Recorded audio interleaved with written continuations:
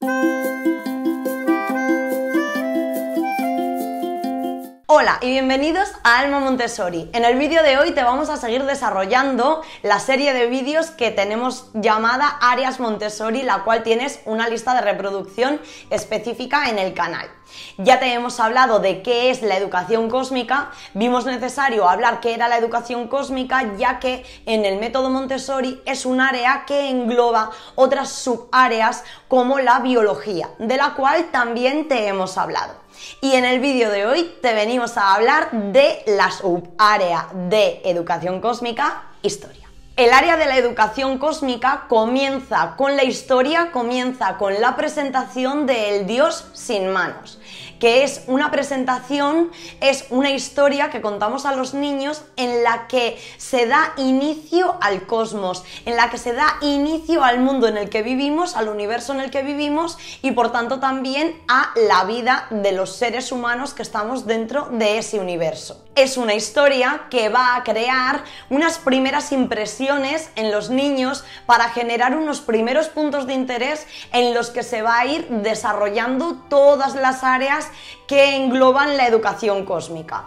Y por tanto, la historia del Dios sin manos da inicio a la historia del mundo, del universo, tanto de los animales como de las plantas, como de los seres humanos, a través de la cual vamos a crear unas primeras impresiones que van a generar interés en el niño para poder investigar sobre eso que más les ha interesado. El Dios sin manos nos presenta la historia del universo, la historia del mundo y por tanto también el inicio de la historia de el lugar donde los seres humanos comenzaron su andadura. En el área de historia, el material Montessori, así como se conoce más en el mundo online, no tiene tanta presencia, ya que los principales materiales que vamos a utilizar para enseñar este área son el material llamado cartelones. ¿Y qué son los cartelones? Los cartelones son láminas con dibujos que no son fotografías reales, sino que son unos dibujos que narran historias y que generan impresiones en el niño. Gracias a esos cartelones, el guía cuenta o narra unas historias, unas presentaciones que va a hacer que los niños tengan un interés particular por ese tema. Puede que a algunos les interese un punto de lo que ha contado el guía, puede que a otro otros, y a partir de esos puntos de interés se van a generar investigaciones, se van a generar trabajos posteriores, que es lo que va a hacer que el niño alcance el conocimiento. Y hay material Montessori como el que nosotros conocemos, que puedes comprar en cualquier web que venda material Montessori. Sí, lo hay, pero ya te digo que es en menor medida. Y te preguntarás, ¿qué cosas aprenden los niños en el área de historia Montessori. Los niños aprenden la llegada de los seres humanos a la Tierra, aprenden también las eras de la historia, las necesidades fundamentales de los seres humanos, el reloj, los meses del año, los días de la semana, la historia de las civilizaciones, las migraciones. Y te preguntarás, ¿y en todo eso dónde está la historia universal, la historia nacional, la historia de su zona geográfica. Propiamente dicha, la historia nacional no está dentro del currículo Montessori, ya que el método Montessori es un método internacional y dentro de las generalidades que tiene porque digamos que todas las áreas de conocimiento comparten eh, ciertas cosas, sea en el país que estés, hay cosas que hacen a cada país y a cada cultura únicos. Y esa autenticidad de cada país y de cada cultura la da su historia nacional.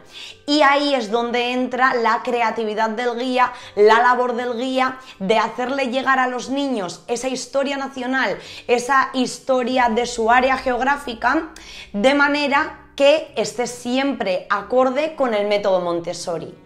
Enseñar a los niños o guiar en su propio aprendizaje a los niños a descubrir su historia nacional siempre siguiendo la filosofía y la pedagogía Montessori. Como veis, esta es una enseñanza de la historia diferente, una enseñanza de la historia en la que ni os he hablado de gobernadores, ni de grandes reyes, ni de grandes reinas, ni de grandes imperios, ni de emperadores, ni de nada que nosotros, hijos de la tradicional, tenemos relacionado en nuestra mente historia con gobiernos, presidentes, reyes, constituciones, revoluciones, nada tiene que ver el aprendizaje de la historia Montessori con eso sino que María Montessori da una verdadera importancia a las personas anónimas, a esas personas de las que nadie habla en la educación tradicional, pero es gracias a las cuales que el mundo es hoy tal cual es.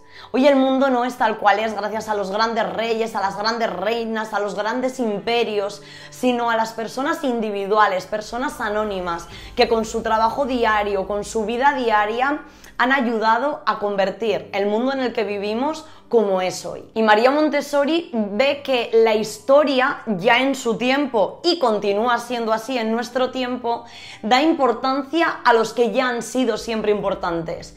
Y ella lo que quería mostrar al niño es la grandeza de esas personas individuales, de esas personas anónimas, de esas personas que nadie recuerda, pero que también han formado la historia de nuestro mundo, la historia del universo, la historia de cada país en el que residimos. Bueno, y dime, ¿qué te ha parecido eh, la historia Montessori? ¿Te ha gustado? ¿Pros? ¿Contras? ¿Cómo enseñas tú como docente la historia en tu aula? ¿Has cogido alguna idea de este vídeo? Espero tus comentarios, suscríbete y si ves este vídeo compartible en tus redes sociales, compártelo para que pueda llegar a más personas y nos seguimos viendo por aquí para vivir, aprender y enseñar con Alma Montessori.